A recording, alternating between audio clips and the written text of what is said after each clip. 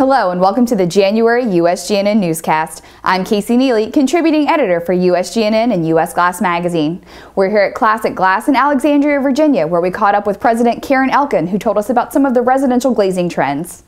The company offers a variety of decorative glass services, including stained glass restoration, art glass repair, design, installation, and etching. What sort of trends have you seen in residential glazing lately?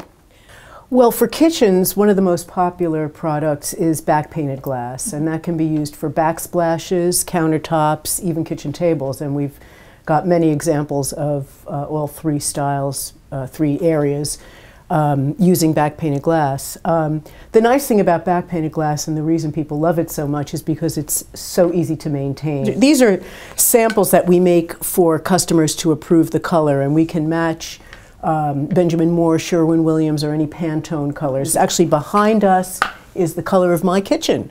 Um, this happens to be a back painted sign that we use for shows. We recently just did a really fun piece for a bathroom. Um, the, the client was a fan of Roy Lichtenstein's work. Okay.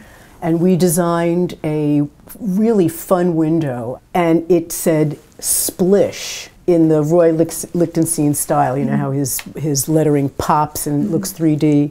That that was a really fun project. Um, as far as shower doors go, I mean, we do an awful lot of um, uh, etching on shower doors. People like to have the psychological privacy, mm -hmm. so we'll etch a band, um, some stripes or a graphic of some kind, kind of in the middle of the glass and the okay. top and bottom left clear. Um, that's really, really popular. Cast glass is always really popular for uh, shower enclosures because it gives you the privacy and uh, it's a very beautiful and different and contemporary product. How is interest picking up in residential? Are you seeing uh, an increasing number of residential projects or are you still getting more commercial work? I think that um, in the last year or so, the residential market has opened up a bit. I think people are, are, aren't quite so afraid to spend their money right now. Um, uh, our, the bulk of our business has always been commercial, so I, I, think the ratio might have been a little skewed the last few years um, to be residential almost non-existent. So it's it's coming back a little bit. Well, I think people are starting to be able to sell their homes, buy new homes. It's just opening up in general. And how closely do you work with the architects and the homeowners? Very closely. Um, okay. Architects uh, mostly they come up with the concept and you know it's our job to uh, make sure it gets produced on time and on budget mm -hmm. um, homeowners um, need a lot of hand holding sometimes glass is pretty exciting mm -hmm. uh, for people they love it um, they get they they get very excited about it and you know it's nice to share in their mm -hmm. excitement how do you come up with new product ideas?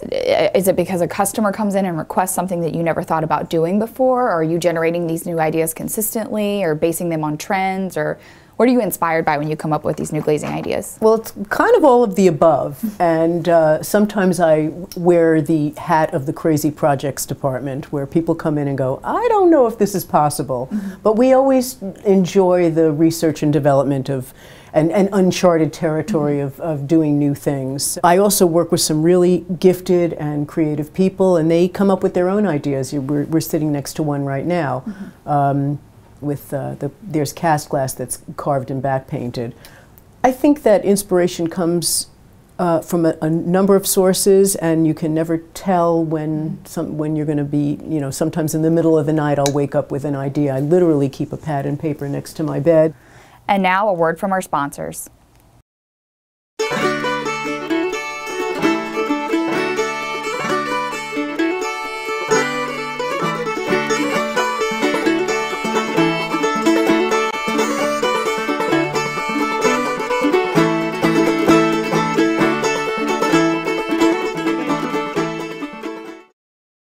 Welcome back. At the company's showroom in Alexandria, Virginia, Elkin has a collection of potential designs available for customers to view, which includes some of the latest residential design trends. Crackle glass is produced, it's a triple layer laminate with a piece of tempered glass in the middle of two plate glass, and you break the tempered glass, and you, it gets this beautiful cracked ice looking glass. It's very popular for kitchen tables, um, and we've even done a, a, a back painted with a silver paint backsplash behind a stove. This is a, actually a back painted product. Uh, we had a, this was for a lady's dining room. Um, she was covering the seats of her chairs with this fabric and wanted to know if we could laminate it for her uh, buffet. And it as it turned out, this wasn't a suitable uh, fabric for laminating, so we copied the pattern using a back painting technique. This is a very unique product uh, that we're pretty proud of. Um, we took a piece of low iron glass and carved the Greek key design into it, and then back painted the whole thing. So it creates a really beautiful embossed look as a nice architectural detail for a backsplash or, or tabletop. This is a really beautiful laminated product, a white on white pattern that's translucent, and it was designed for a kitchen backsplash that had uh, backlighting. Uh, so when you turned on the kitchen lights, the backsplash lit up too, and it was very beautiful. A recent installation that we are very proud of is a back painted, contemporary, sort of a tiled counter. And uh, we worked with a designer, uh, Mercedes Getz, very gifted designer, and she came up with this concept. It was one of those wish projects, and we were able to pull it off. That's all for this month's newscast. Be sure to check back in February where we take a look at the Kitchen and Bath Show held in Las Vegas. I'm Casey Neely. Thanks for joining us.